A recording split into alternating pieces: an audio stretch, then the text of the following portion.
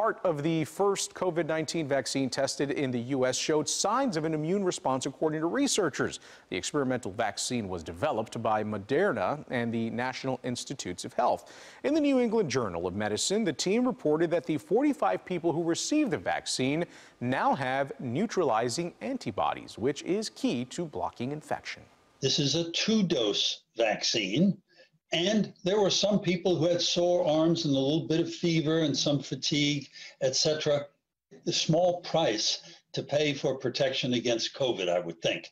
What we hope is that with a combination of people having already been exposed and a vaccine that's anywhere from 70, 75% effective, that there will be enough herd immunity, that there will be a time when you and I don't have to worry about getting infected. Well, Dr. Anthony Fauci also says just because a vaccine may be available in January, it does not mean the problem will be completely over with. So keep that in mind.